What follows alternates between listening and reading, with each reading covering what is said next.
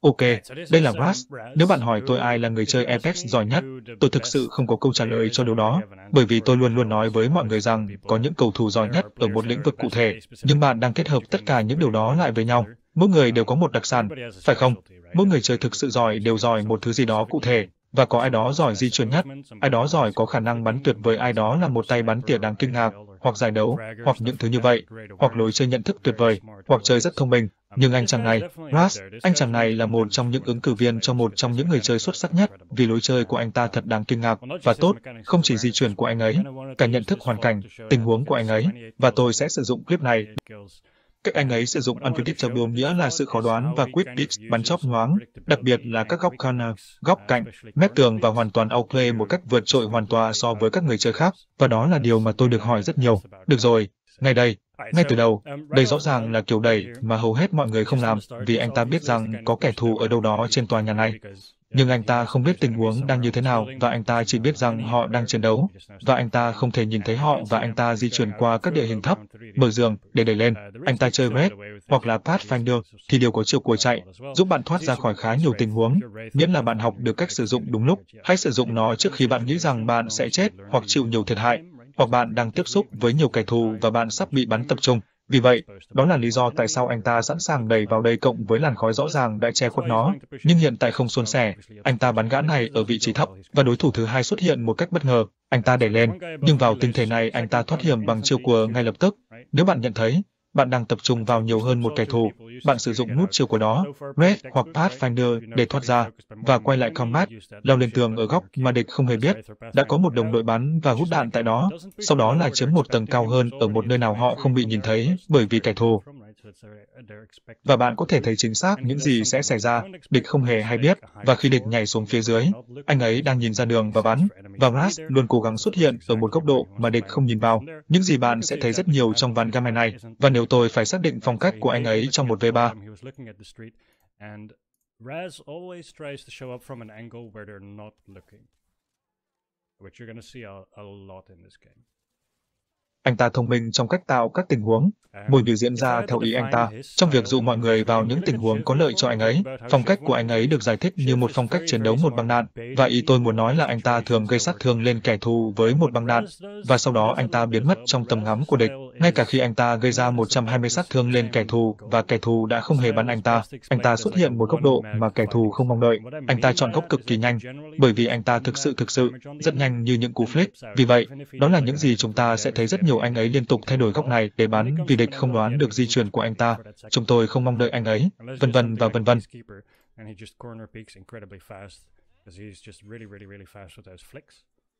So that's what we're going to be seeing a lot. He's constantly changing up this angle, trying to shoot from angles where they're not looking at him, where they're not expecting him, and so on and so forth.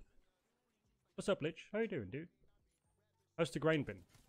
Right here, obviously he's a bit overexposed. It's a risk he didn't need to take, but he had around no health, so he gets away with it. Go for a second. see what happens next.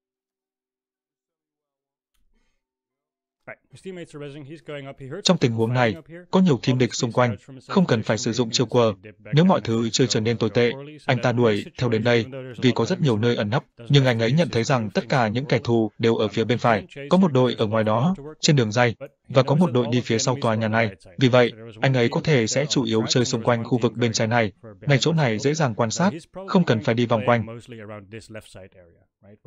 Anh, anh ấy rất giỏi trong việc theo dõi kẻ thù lần di chuyển cuối và chơi xung quanh, nhưng anh ấy sẽ không bắn về phía bên phải màn hình này. Anh ấy sẽ luôn thay đổi các góc ở bên trái. Xem những gì tôi đang nói về. Một băng đạn thay đổi góc tới cánh cửa kia. Một băng đạn thay đổi góc, kiểm tra trước, sau. Anh ấy luôn làm điều này và theo dõi cho suy nghĩa, cảm nhận kẻ thù di chuyển. Anh ta nhìn thấy một kẻ thù bị đẩy ra phía bên phải, và ngay lập tức một hồi chuông báo động trong đầu anh ta vang lên rằng anh ta có thể bị kẹp. Đúng vậy, anh ta có nguy cơ bị kẹp nếu anh ta cho phép kẻ thù đi xa về phía bên phải, hoặc thậm chí kẻ thù đi xung quanh tòa nhà bên trái đằng sau này, hẳn ở đây. Các bạn biết tôi muốn nói gì không? Về tòa nhà phía sau này đó. Vì vậy, nếu anh ta thấy một trong hai điều đó xảy ra, anh ta sẽ có thêm một số phạm vi và anh ta sẽ cố gắng phản công bên đó trước để nó không bị kẹp. Ngay tại đây, thấy rằng toàn bộ đội của Rush này đang đẩy về một phía của tòa nhà. Vì vậy, anh ta sẽ làm gì? Đầu tiên anh ta bắn trước vài viên đạn, sau đó ngay lập tức thay đổi góc lùi về phải để tìm lên. Kẻ thù đang bắn team, anh ta vừa bắn ở góc khác và free kill, anh ta liên tục thay đổi góc và outplay. Vì vậy, ngay lập tức khi anh ấy nhìn thấy ai đó đi bên phải ở đây, anh ấy nhìn sang bên phải trên đường, thấy rằng người đó không thực sự đẩy ra khỏi đó và bây giờ anh ấy có thể quay lại và tiếp tục chơi những tòa nhà này. Anh ấy rất, rất nhanh, và anh ấy liên tục nhìn vào một góc độ khác để không thể đoán trước được, thay đổi góc một lần nữa. Ngay sau khi anh ta hết băng đạn, anh ta không tiếp tục chiến đấu. Anh ta vừa di chuyển thay đạn, lao ra và có một góc khác. Một lần nữa, anh ta nghĩ suy đoán tất cả kẻ thù đang ở bên nào. Bây giờ họ đang ở phía sau anh ta ở phía đó của tòa nhà, và vì vậy anh ấy liên tục cố gắng thay đổi góc độ theo cách mà anh ấy vẫn nhìn vào vị trí của chúng trong mọi cuộc chiến. Đó là Awakenings cảm nhận phản xạ mà tôi đang nói đến. Anh ta phản xạ điều đó quá nhanh và biết chính xác làm thế nào mà anh ta có thể đẩy mà không kẻ thù không thể đoán trước được. Có kẻ thù đang ở gần đây, chỗ mà tiếng súng phát ra. Anh ta chưa thực sự nhìn thấy họ, nhưng chúng ta hãy nhìn vào cách anh ta chơi. Lên máu, giáp đầy đủ, di chuyển chỗ team bị nóc, địch còn ở đó, bắn gục một tên, bắn vài viên tiếp theo, thay đổi góc, thay đạn, không đẩy, không rượt đuổi, thay vào đó, trinh sát, bắn lẻ từng tên địch một chọi một, di chuyển để dịch di chuyển bắt lấy cơ hội một chọi một. Được rồi, vậy là anh ấy đã nhìn thấy một kẻ thù còn lại, hoặc ít nhất anh ấy cũng nghĩ như vậy. Ngay tại đây, phải không? Đó là một người. Ở sau đó phía xa sau cửa sổ, sau khi nóc được banh gron, ngay bây giờ, nó là hai người đánh một kẻ thù, phải không?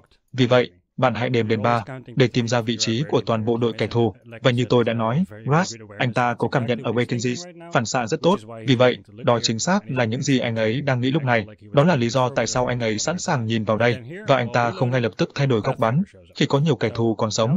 Nhưng sau đó ở đây trong khi thay đạn lại, thì Pathfinder lại xuất hiện. Vì vậy, bây giờ anh ấy biết rằng có một đội thứ hai, phải không?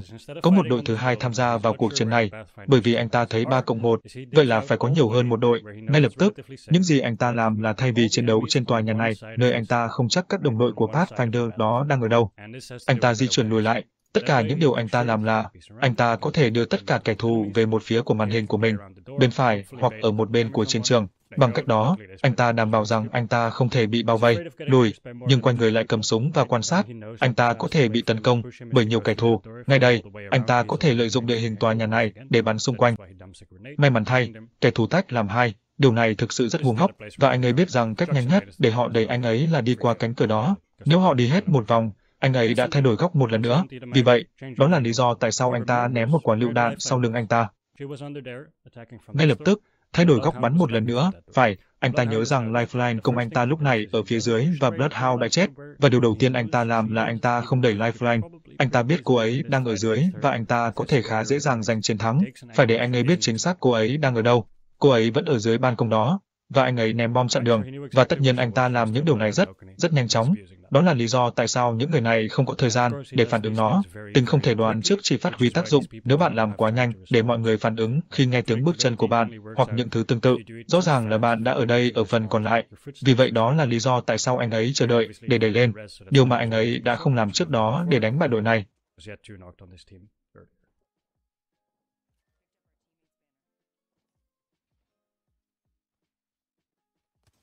Ok, và một chim nữa bị clear một lần nữa. Di chuyển và combat, tách một đội kẻ thù ra từng một kẻ đơn lẻ. Bắn bất ngờ là một trong những điểm mạnh trong lối chơi của vas Ok, ở đây, đầu tiên để đảm bảo an toàn, anh ấy không bao giờ không bao giờ lặp lại từ cùng một góc bắn. Anh ấy luôn thay đổi góc bắn và gameplay người có tốc độ và sự khó đoán theo cách rất, rất tốt. Thêm nữa, rõ ràng là anh ta giỏi trong việc theo dõi kẻ thù lần cuối cùng nhìn thấy và vị trí của chúng. Bây giờ anh ấy đã có trong tay KB Keeper. Điều thứ hai tôi đề cập đến, anh ấy rất giỏi là các pha flip tạc góc. Anh ta này rất nhanh với những pha flip tạc góc của mình. Một số clip của anh ấy bắn phản xạ rất khó tin. Anh ta tận dụng corner rất hiệu quả. Thậm chí địch chỉ thấy đạn mà không thấy anh ta. Vì vậy hãy để ý rằng anh ta làm điều đó siêu sao. Ngay cả ở đây với một cánh cửa, anh ta cũng nhanh chóng lao vào corner phía sau cánh cửa ở đây vào anh chàng này. Hãy xem anh ta lao nhanh ra sau chỗ nấp corner sau khi phát bắn Peacekeeper. Hãy tưởng tượng trong một giây rằng bạn là Bloodhound này và một anh chàng lao vào và ra khỏi chỗ ẩn nấp và đánh bạn như vậy một cách nhanh chóng. Bạn có thể là rank kim cương hoặc thậm chí là một người chơi ở cấp độ Predator và bạn cũng sẽ giống như một con bồ. you can be a diamond or even a predator level player and you would look like a bot as well. So this guy just having a very specific playstyle and having Vâng, anh chàng này có một lối chơi rất nhất quán, chắc chắn, tự tin và đã luyện tập rất nhiều để đạt được trình hoàn thiện như vậy là lý do tại sao anh ta được mệnh danh là Best Player Apex Hàn Quốc. Đây là lý do tại sao chơi nhiều và luyện tập một lối chơi nhất quán là rất đáng giá, đúng không các bạn? Ngay tại đây và đội khác sẽ xuất hiện, anh ta không muốn chiến đấu với nhiều người khi anh ta không biết họ định hướng ở đâu, anh ta không muốn bị bao vây, vân vân. Vì vậy, một lần nữa, chúng ta thấy anh ta sử dụng chiêu của Red của mình để thoát khỏi chỗ này. Đây là một khá khu vực rộng mở nơi có thể rất khó để thoát ra. Anh ấy biết điều đó, nên anh ấy cũng bật Ultimate mở công portal của mình để thêm khoảng cách, và anh ấy cũng biết rằng có một khả năng khá cao là anh ấy có thể bị truy đuổi qua cổng và đồng đội của anh ấy đã ngã xuống, nên anh ấy không thể đến với đồng đội của mình bằng cổng. Vì vậy, Bây giờ bạn đang tìm kiếm một cách khác để sử dụng cổng này sao cho việc bị truy đuổi không nguy hiểm. Một trong những điều bạn có thể làm là chạy vào cánh cửa, giống như bạn có cánh cửa phía sau anh ta ở đó, dừng cổng ngay trước cửa và sau đó đóng cửa trên cổng và bắt đầu lành lại và bạn thường có thể lên giáp. Một việc khác bạn có thể làm là bắt đầu dừng cổng, chẳng hạn như ngay tại đây, Porto dừng trên cao và sau đó lùi lại phía sau, để nếu kẻ thù đuổi theo bạn, chúng sẽ rớt từ cổng xuống và mất định hướng, không thể quay lại Porto liền ngay, cộng với animation đắp đất, cho bạn một chút không gian để làm việc. Portal's hanging in the air, but most importantly, he keeps gaining distance. He's got a lot of speed now, so even though he starts his heal early because he's in the air, he can get a lot of distance from the portal in case he's being chased. Plus the portal is in the middle of the air, right? So if they're chasing him now, they fall down. Và những gì thông minh mà anh ấy làm ở đây là anh ấy dừng cổng portal này ở đây. Vì vậy, anh ta lên giáp ở đây, sử dụng cổng portal của mình. Vì vậy cổng portal của anh ta treo lơ lửng trên không. Nhưng quan trọng nhất, anh ấy lút thêm trang bị và theo dõi cổng portal, giữ khoảng cách Thêm vào đó, cổng Koto ở giữa không trung, đúng không? Vì vậy, nếu họ đang đuổi theo anh ta, bây giờ họ rơi xuống, họ không thể quay trở lại cổng, và bởi vì anh ta có vách tường Cannock để cover một vị trí cổng Koto 200 IQ tại đây, anh ta trinh sát xung quanh, anh ta tầm soát mọi thứ, luôn đoán được điều gì sẽ xảy ra nếu mọi người đuổi theo anh ta. Anh ta liên tục vừa bắn vừa quan sát xung quanh sự chú ý của kẻ thù. Anh ta đang sử dụng Beekeeper nhiều hơn một kẻ thù có phải không? Styles on these people. Not much to say about.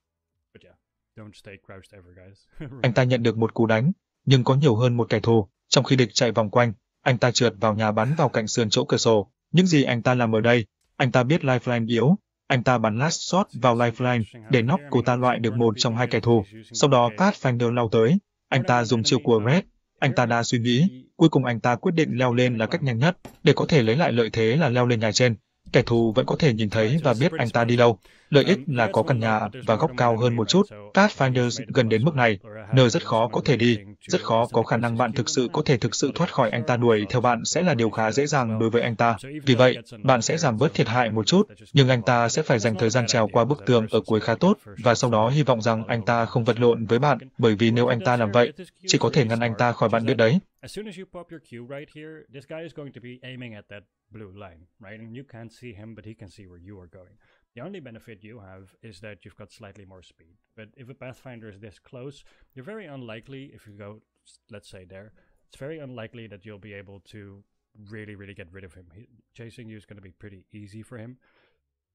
So you're going to be mitigating damage for a little bit, but you would have to time climbing over the wall right at the end pretty well and then hope that he doesn't grapple after you, because if he does, there's just no stopping him from, uh, you know, being the aggressor here, which is not really something you want. what does work is climbing on stuff. When you're climbing on stuff, obviously you're locked in a predictable animation. You can get lasered pretty easily, and that's something you want to avoid. But if you're in your into the void ability, you can't be shot. You're invulnerable. So suddenly it's a huge advantage to climb on stuff because if you can make sure your into the void ends on top of an object and they follow you, then you can punish them for being in the climb animation instead of being the one that gets punished for it.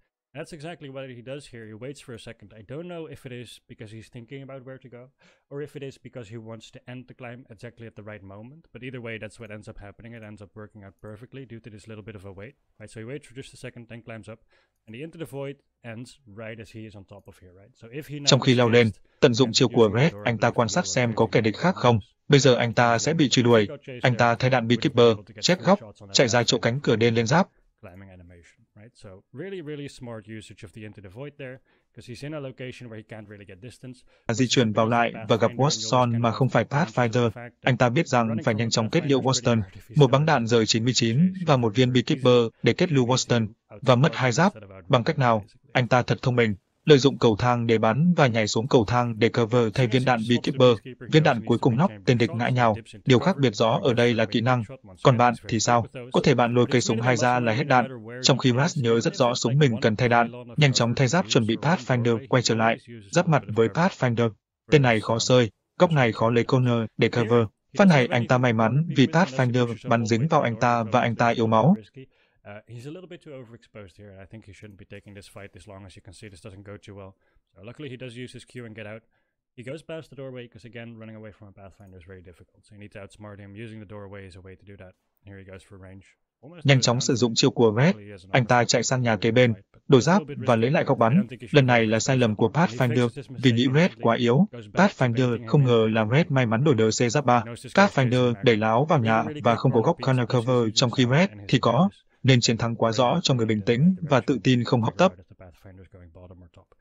Thử nghĩ lại mà xem, anh ta nghe tiếng đu dây rượt đuổi của Pathfinder là anh ta đoán được vị trí và canh bắn trước một viên đạn, thật tài tình. Ngoài ra, anh ấy nhận ra, mặc dù anh ấy đã mạo hiểm một chút bằng cách chạy ra ngoài đường mở cửa thay vì lên giáp ở cánh cửa, nhưng anh ta làm một cách thông minh. Khi anh ta đi vào một tòa nhà một lần nữa, anh ta nhận ra rằng Pathfinder mạnh hơn đáng kể nếu bạn đang chiến đấu bên ngoài so với bên trong, đúng không?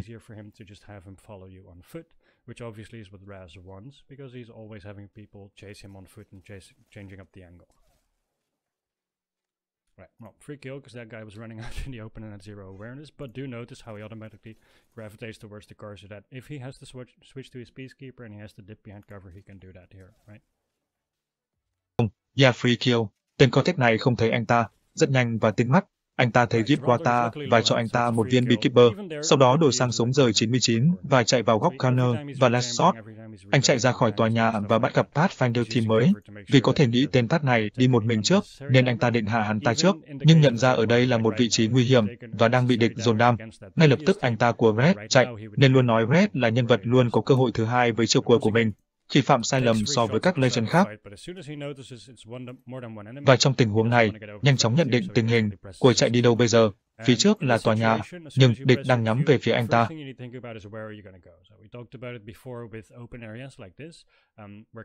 Và thua, anh ấy có thể không muốn quay trở lại tòa nhà sát bên anh ta, vì quá gần anh ấy có thể bị đuổi theo rất dễ dàng là những dead box này sẽ có lợi cho team địch are these boxes. So what I would do is probably dip behind these boxes and then from there you can make it into the building and have them chase you, which fits his place. Khu vực rộng với Pathfinder nên phải thiết lập lại trong tòa nhà này. Um,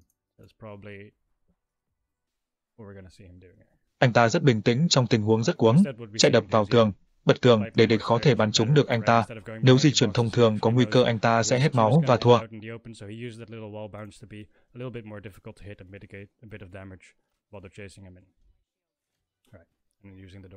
Chim địch đuổi theo anh ta, sử dụng những cánh cửa được che ở đây. Có hai kẻ thù ở đây và một trong số chúng sắp bỏ đi, nên có lẽ anh ta không muốn ở lại ngôi nhà này quá lâu, vì có cơ hội để anh ta bị kẹp. Trong khi bom nổ anh ta biết địch sẽ công anh ta về bên trái, nên anh ta di chuyển trước và canh súng trước khi chúng chạy qua. Nghệ thuật trong cách di chuyển của anh ta, đoán địch sẽ đi đâu, bắn trước vào địch và chạy về cánh cửa và nhìn về phía bên trái kiểm tra địch. Sau đó anh ta vào nhà lại để lấy lợi thế. Anh ta có thể quan sát địch qua các cánh cửa sổ và tận dụng lợi thế của cầu thang. Nhưng rủi ro ở đây, nếu Pathfinder đủ thông minh bay lên ban công đẩy xuống và chim móc dưới lên thì sẽ nguy cho anh ta. Nhưng Public thì sẽ không căng như vậy anh ta đoán, nên anh ta di chuyển lên ban công, lên giáp.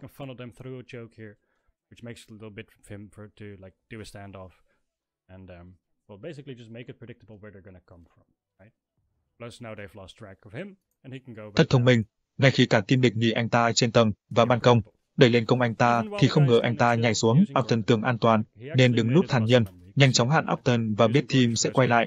Những phá áp sát và cận chiến gấp thì sử dụng Beekeeper có thể giúp bạn lật được tình huống. Ở đây bạn có thể thấy lợi ích của tốc độ ngay khi anh ấy đang cố gắng theo dõi mọi người đang ở đâu, và vì điều đó Pathfinder đã không thấy anh ta đến mặc dù anh ta có thể nghe thấy anh ta bên dưới. Giảm thiểu thiệt hại không cần thiết là một cách rất rất tốt để luyện tập bắt đầu chơi thông minh hơn và bắt đầu chơi những người chơi gọn gàng và sạch sẽ. điều thực sự phân biệt những người chơi giỏi với những người chơi tuyệt vời.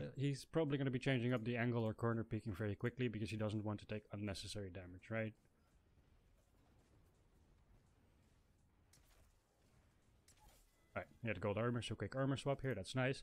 So, right now he's got two knocked, one thirsted out of those two, and then the Jibby he had a very low health, and still he didn't overcommit to the Jibby so he's not at a risk for a third party or anything like that. Um, mitigating unnecessary damage is a very, very good way to practice starting to play smarter and starting to play cleaner. And clean play is what really separates good players from great players. Um, so right here, he possibly is gonna miss a kill on the Jibby just because he's playing very clean, which is nice. It's paying off. I really like seeing that. Right, using a portal and his Q. This is of course when Q still gave you gave you extra speed. It doesn't anymore.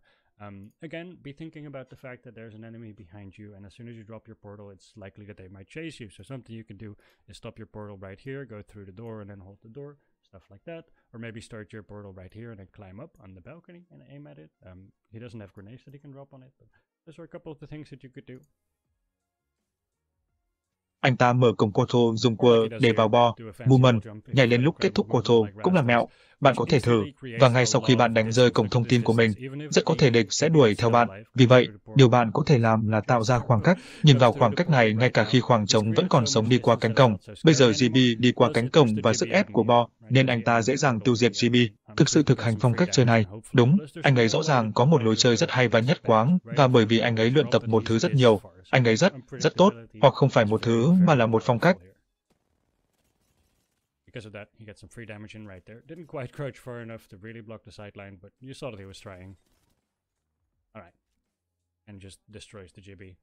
Like, actually styled on him, but look at how he's following the same steps and really, really, um, really practice this style of play, right?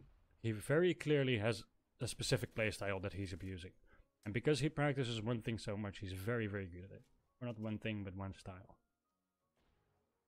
Right here it's a pretty open area, there's not much bamboozling to do, so he just goes off the fact that that guy was distracted, he gets free damage on him first, and he can get away with, well, basically out-aiming these people. Plus he has gold armor now, which just allows you to take a lot more risks, right? Because it's pretty busted.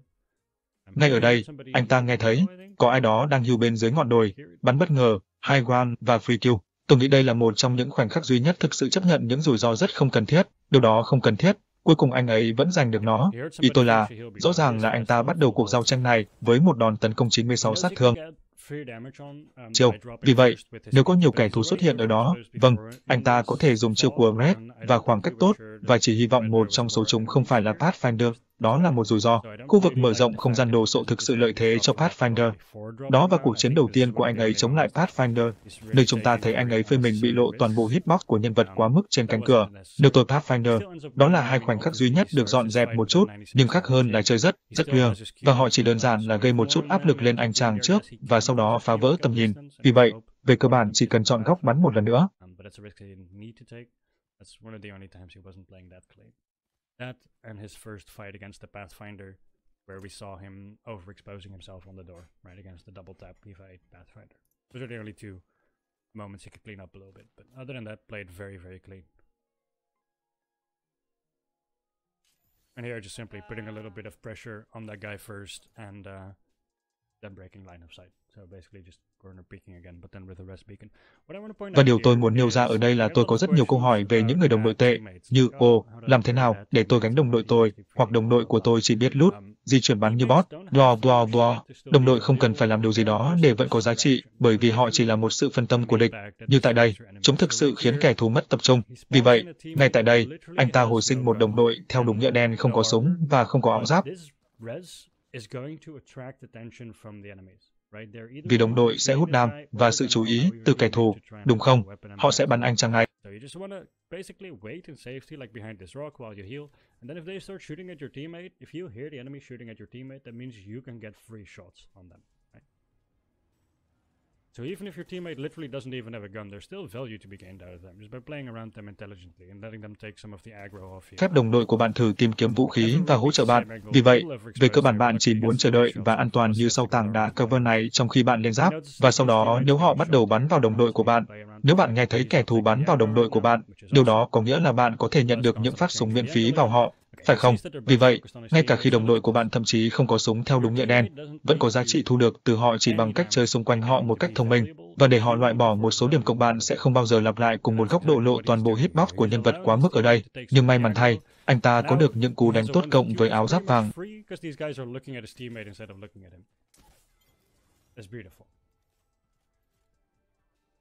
And that's how got 28 kills in a game, which is fucking nuts. He's obviously incredible. He does these things very, very, very quickly, but it shows you really how strong. Đẹp thật đấy. Đó là cách Rast nhận được 28 kill trong trò chơi. Thật là điên rồ. Anh ấy rõ ràng là đáng kinh ngạc. Anh ấy làm những điều này rất, rất nhanh. Nhưng nói cho bạn thấy thực sự việc phát triển một lối chơi có thể mạnh đến mức nào bất kể lối chơi đó là gì.